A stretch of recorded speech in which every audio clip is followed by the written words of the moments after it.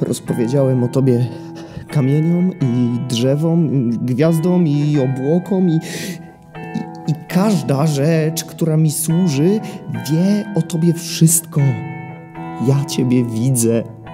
Inni cię tylko oglądają. Ja, ja ciebie słyszę, inni słuchają. Mi, mi chodzi o twoją duszę.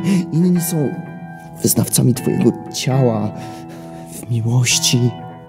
W miłości trzeba iść do samego końca. Moja świątynia. Chciałbym wyrwać z siebie te dwa słowa niemówione jeszcze nikomu. Wymyśliłem ją niespotykanie bogatą, dumną, niedoścignioną. No i co z tego? Chciałbym, chciałbym warować u jej drzwi. Płoną mi oczy. Jeszcze, jeszcze jej nie było. A już się bałem, że ją stracę.